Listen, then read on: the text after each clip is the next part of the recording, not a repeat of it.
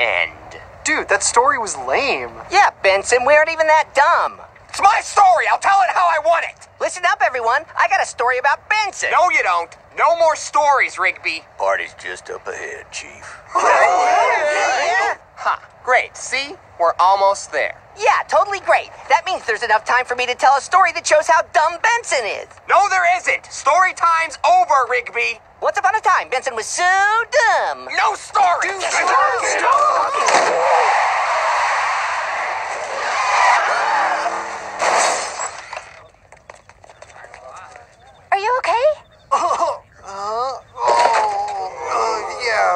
Fine.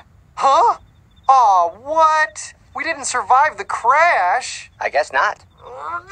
Unbelievable! Rigby, you're fired! You can't fire me. I'm dead. Woo!